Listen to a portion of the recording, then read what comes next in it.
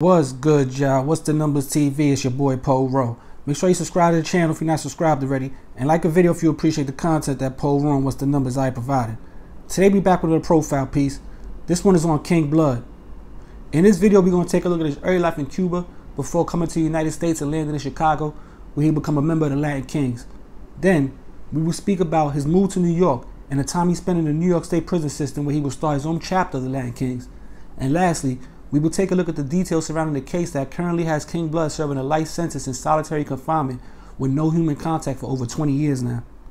Luis Felipe, better known as King Blood, is from Havana, Cuba. Raised by his mother and never meeting his father, King Blood in 1979 would shoot a man in the arm and get arrested for attempted murder and sentenced to 10 years in a Cuban prison. By the next year, 1980, Cuba was overtaken by lawlessness and desperation. That's when former Prime Minister of Cuba, Fidel Castro, opened his prison cells and freed the undesirables in the Mariel boat lift.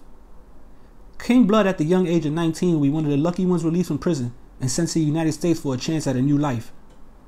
He would eventually settle in Chicago, and while there, become a member of the Almighty Latin King and Queen Nation, which is one of the largest Hispanic and Latino street and prison gangs worldwide. King Blood rose through the ranks and in no time was the president of the Bryn and Winthrop chapter of Latin Kings, which is on the north side of the city of Chicago.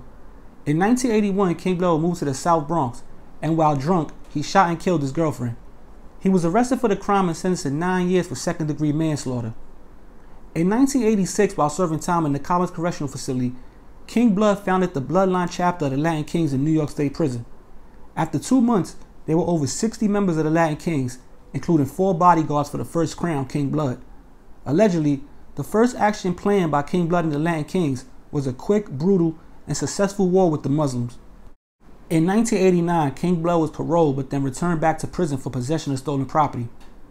Back in Collins before being transferred to Attica, prison officials would little by little find out more information on this new prison gang that hit the streets of New York and was spreading like wildfire in the Latin community. The authorities will start to focus on King Blood as he was deemed the leader of the organization. They will request a mail watch on any letters coming to or leaving from King Blood while incarcerated in Collins and Attica state prisons.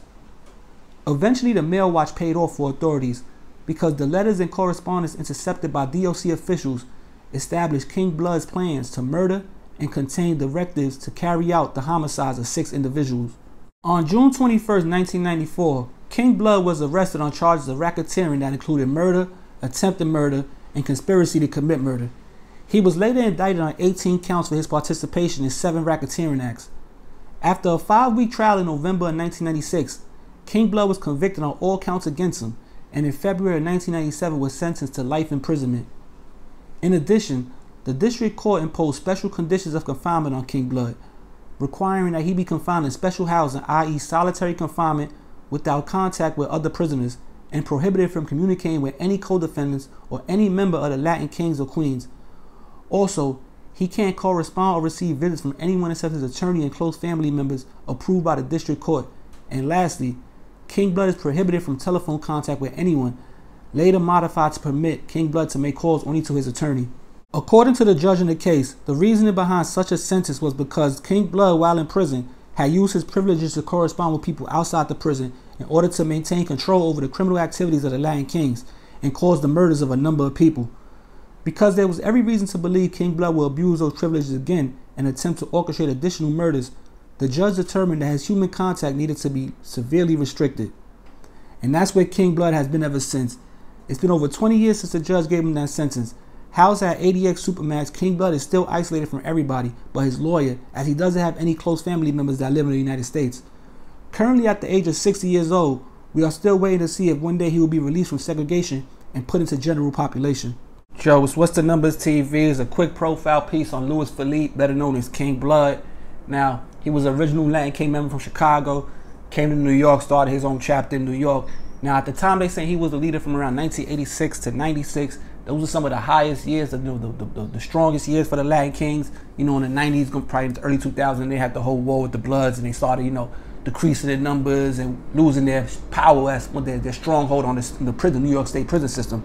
But when King Blood was the leader, they was, you know, they was the thing. They was the strongest thing moving because he was more violent. you know, after King Blood, King Tone came, and he had like a different agenda for the organization. You know, he wanted to do more community outreach, more positive things within the community and within his organization. But King Blood, King Blood was started in prison, so he was looking at it from a prison gangs aspect, like not letting nothing slide.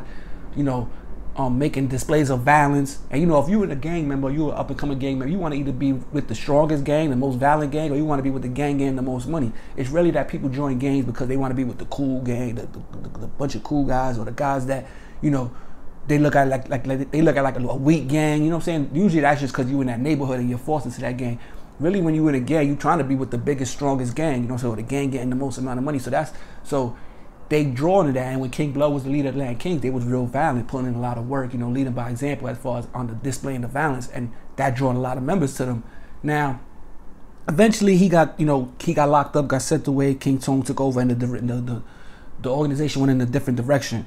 But King Blood, like I said, he was killing own members, members that he felt was a, a threat to his his power. He was getting them killed, you know, what I'm saying, doing things like that. Now, the Latin Kings are definitely still here in New York City. They're out of state. I see. I was just in Florida. I seen some Latin Kings out there, flagged up, beads, everything. But they're not as strong as they once were. Now, you go to the Puerto Rican parade or something like that in New York City, of course you're gonna see them. But as far as like them just being everywhere in certain pockets of neighborhoods, they're not there as much as they were. You know, a lot of people don't turn blood, crip, pot. They got different gangs. You know what I'm saying? So the Latin Kings ain't as strong as they once were, but they are still around. But like I said, man, it's just a quick profile piece on King Blood, aka Luis Felipe, because a lot of people were saying that you know I did a lot of blood leaders, and it's not just that. It's just that a lot of people had they, they, there was a big topics on the internet, so I was touching on that. But definitely shout out to the Latin Kings. You know what I'm saying? This piece is on on King Blood, Luis Felipe, one of the most notorious, notorious Latin King leaders of all time. Still locked up in solitary confinement with no human contact. So you know what I'm saying? Hopefully he gets out of that, gets to you know somehow get reacclimated to being around people or general population like that because he probably won't never see the light of day again.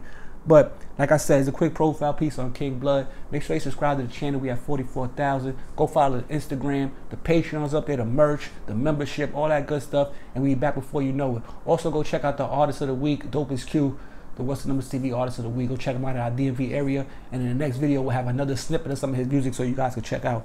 But like I said, man, What's the Numbers TV? It's your boy Poro. We out of here. Peace.